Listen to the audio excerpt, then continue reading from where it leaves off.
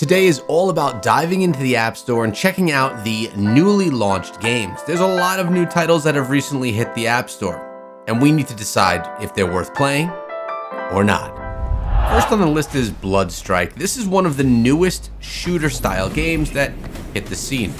This is one with a much smaller name than something like a Call of Duty or a PUBG Mobile, and it only has 10 million downloads with 4.6 stars, yet it has a really big following. Players seem to love this game, maybe because it's something different from the norm that everyone's used to playing. This is a game that I would recommend you try if you're looking for something that is new and not just the same old.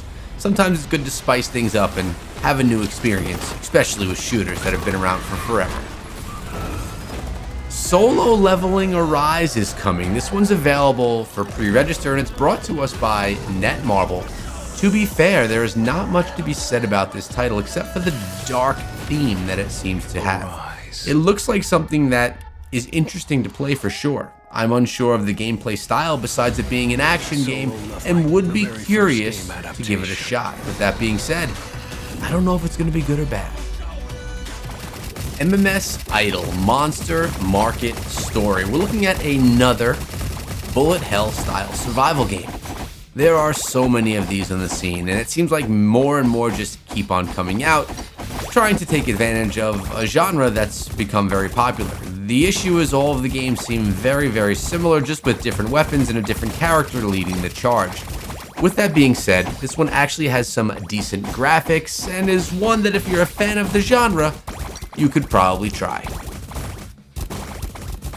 Now here is a must-play game. AFK Journey, just out a few days, already has 1 million downloads, and is ranked with 4.8 stars. If you ever played AFK Arena, you'd be very familiar with both the characters you encounter inside of this game and the general gameplay style, except for this one implements some open world exploration elements that allows you to get a little bit more lore, story, and excitement out of the game.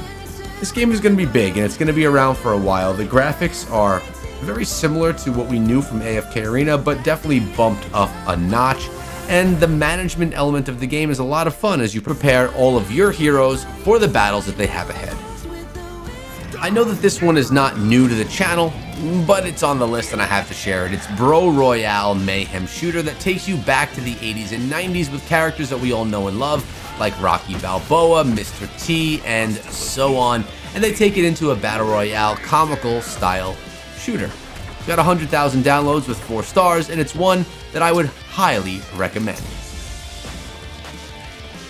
Three Kingdoms Dynasty Archers, a newer title with 50,000 downloads and 4.6 stars. As you can see, this one is in the vertical format.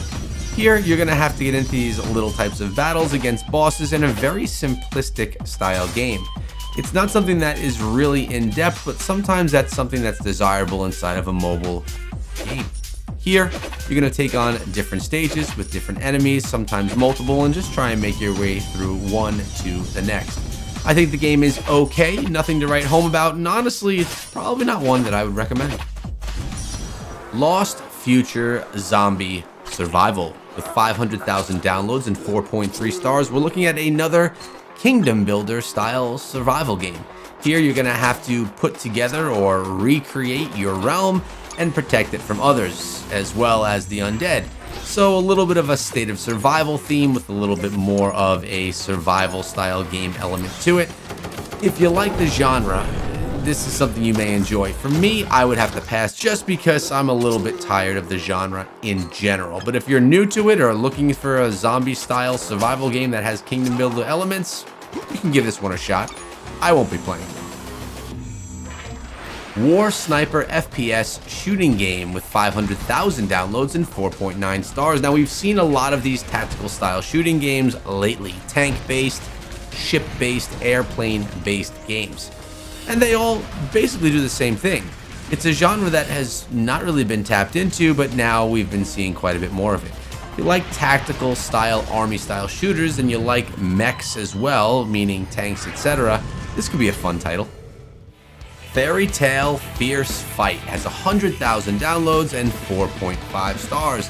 And inside of this anime themed fighting style action game, you're going to be doing exactly that, taking your character into battles that can be enjoyable as you go against larger hordes of enemies and bigger bosses that are going to get in your way. I particularly like the art style inside of this game. It's a little bit cartoony, a lot anime. I would play it.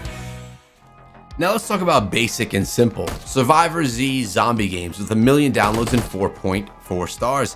This just shows that a lot of people do enjoy a very simplistic mobile game, something that does not have a lot of depth, and that's something that can be appreciated here on the scene. This is just a shooter Bulletstorm action style game with very simplistic elements and graphics that are even simpler. Although it looks pretty cheesy, it actually looks kind of addicting, and I'd probably play it. But the real question is, do you agree with my recommendations? Let me know in the comments section below and be sure to subscribe so you don't miss out on tomorrow's top 10 video.